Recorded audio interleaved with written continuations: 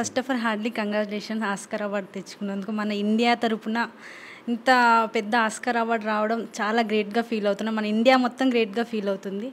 మొట్టమొదటిసారిగా మన India Oscar తీసుకొచ్చింది సార్.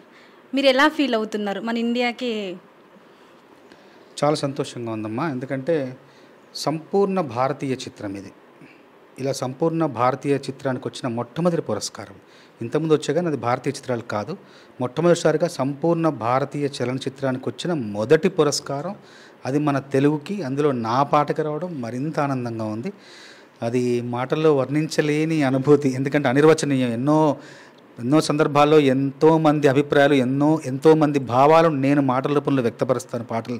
కానీ నా అనుభవాన్ని నా అనుభూతిని నా భావాల్ని మాత్రం వ్యక్తీకరించలేకపోతున్నా. దానికి మాటలు సరిపోవట్లేదు. ఎందుకంటే ఇది స్వప్నంలో కూడా స్వప్నించని స్వప్నం ఇది. ఎప్పుడు ఇలా అసలు ఇక్కడి వరకు వెళ్తుందని ఊహించలేదు. కేవలం ఈ పాట రాసేప్పుడు రాజమౌళి గారు కీరవణ్ గారు మెచ్చుకుంటే చాలు. వాళ్ళు మెచ్చుకున్న తర్వాత ప్రజలందరూ దాన్ని ఆమోదించి వాళ్ళందరూ అంగీకరిస్తే చాలు.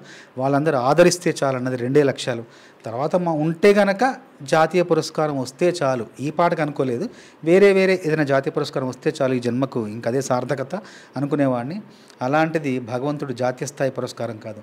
నాలుగు అంతర్జాతీయ స్థాయి పురస్కారాలు ఇవ్వడం అన్నది నా జన్మ ధన్యం అయిపోయింది అది నా అదృష్టం అయి ఉండొచ్చు నా స్వయం కృషి అయి ఉండొచ్చు మా అమ్మానాలు చేసుకున్న పుణ్యం అయి ఉండొచ్చు నా భార్య చేసిన పూజా ఫలం అయి ఉండొచ్చు. ఇలా అన్నీ ఒక చోట కలిస్తే కానీ ఇలాంటిది సాధ్యం కాదు. అది సాధ్యమైంది ఈ జీవితానికి. చాలా ఆనందంగా ఉన్నాను. అందులో తెలుగు పాటకు వచ్చినందుకు తెలుగు వాళ్ళ శక్తి సామర్థ్యాలు ప్రపంచ యవనిక మీద విశ్వవేదిక మీద చాటి చెప్పినందుకు మరింత ఆనందంగా ఉంది. నాటు నాటు పాట రాసే సమయంలో మిమ్మల్ని ప్రేరేపించిన అంశాలు ఏమైనా ఉన్నాయా సార్?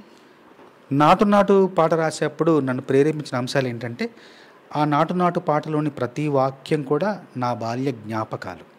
మా ఊళ్ళో నేను అనుభవించిన జీవితం నా నేపథ్యం నా పరిసరాలు నా కుటుంబం అవన్నీ నేను ఎదుర్కొన్నవి నేను అనుభవించినవి అనమాట అవన్నీ వాటన్నిటిని తీసుకొచ్చి ఒక్కొక్క వాక్య రూపంలో పొందుపరిచి కేవలం నలభై ఐదు నిమిషాల్లోనే పాట రాశాను.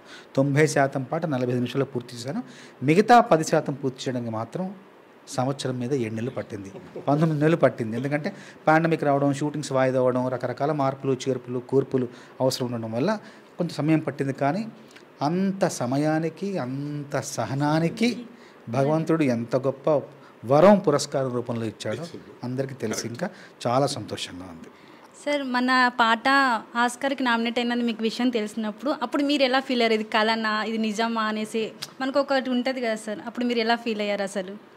అదే కదా నామినేషన్లోకి వెళ్ళినప్పుడు కూడా చాలా ఆనందపడ్డాను ఎందుకంటే ఇంతవరకు మన అసలు భారతీయ భాషా చిత్రాల్లోని ఏ పాట కూడా నామినేషన్లోకి వెళ్ళలేదు. అంటే ముందు ఆస్కార్ గడప వరకు వెళ్ళడమే గొప్పగా భావించాం. అది గడప దాటి లోపలికి వెళ్ళి నట్టింట్లో కూర్చున్నందుకు ఇంకా మరింత ఆనందంగా ఉంది. నామినేషన్ పడ్ అప్పుడు దానికి ఎంపికైనప్పుడే చాలా ఆనందపడ్డాను. ఎందుకంటే అంతవరకు ఏది వెళ్ళలేదు. అంతవరకు అప్పుడు చాలా తృప్తి. దాని తర్వాత లోపలికి వెళ్ళి విజయకేతనం ఎగరేసినందుకు మరింత ఆనందంగా ఉంది. దేశమంతా నేను కాదు మీ అందరూ తెలుగు వాళ్ళమే కాదు మొత్తం దేశమంతా సంబరాలు చేసుకుని దేశమంతా గర్విస్తుంది. అలా దేశానికి గర్వకారణమయ్యే పని చేసినందుకు నా జన్మ ధన్యం. అందరికీ నమస్కారం.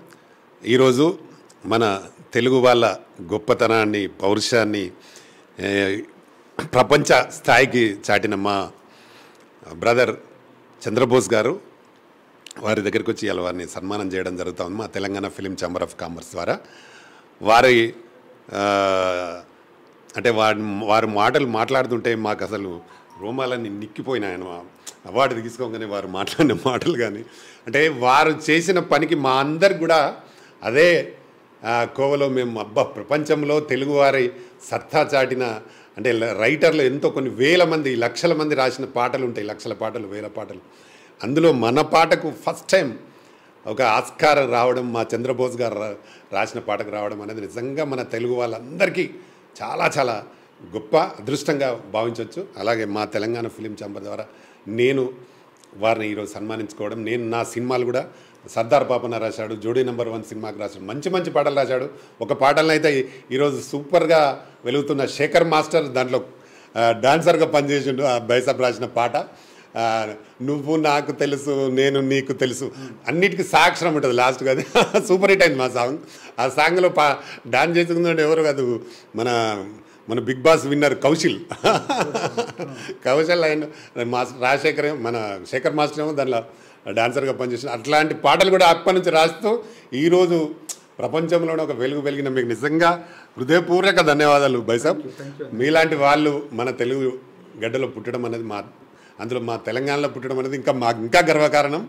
ప్రపంచంలో మీకు ఇంత గొప్ప స్థాయి పేరు వచ్చినందుకు నిజంగా ఆ భగవంతుడికి అలాగే మీకు మరొకసారి హృదయపూర్వక నమస్కారాలు తెలియజేస్తున్నా. విషయం ఏంటంటే టిఎఫ్సిసి నంది అవార్డ్స్ అని దుబాయ్లో చేస్తున్నాం సార్. జూన్లో. మీరు తప్పకుండా రావాలి. జూన్ ఎప్పుడన్నా? జూన్ అంటే నేను రేపు వెళ్తున్నా. సార్ దానికి చీఫ్ గెస్ట్ అక్కడ ప్రిన్స్ని పిలిచినాం. Dubai prince. ఆయన డేట్ తీసుకొస్తున్నా. త్రీ- మూడు రోజుల్లో వెళ్తున్నా నేను. వెళ్ళొచ్చి మిమ్మల్ని మళ్ళీ మిమ్మల్ని కలుస్తా. ఆ డేట్కు వెళ్ళ టైం ఏంటి సార్ మాకు? తప్పకుండా. మీరు రావాలి. మేము పెద్ద సన్మానం చేసుకుంటాం. ఆయన దుబాయ్ ప్రిన్స్ తోటి సన్మానం చేపిస్తాం మీకు. తప్పకుండా రావాలి sir. Thank you sir thank you very much Telangana film chamber నుండి నంది అవార్డ్స్ చేస్తున్నారు sir. South India South India South India Nandi awards చేస్తున్నారు. గత ఏడు సంవత్సరాలుగా నంది అవార్డ్స్ అనేది అసలు జరగడం లేదు. ఇప్పుడు మన ఫిలిం ఛాంబర్ నుండి దుబాయ్లో చేస్తున్నారు. దాని గురించి మీ అభిప్రాయం ఒకసారి. అదే జరగబోతుందని ఇప్పుడే కదా తెలిసింది. కాబట్టి అంటే మన రామకృష్ణన్న చేస్తే ఖచ్చితంగా అది ఘనంగా వైభవంగా జరుగుతుందని ఒక నమ్మకం మాత్రం నాకుంది. దానికి రావాలని మనసు ఉవిళ్ళూరుతుంది. థ్యాంక్ యూ అన్న. Thank you very much thank you very much thank you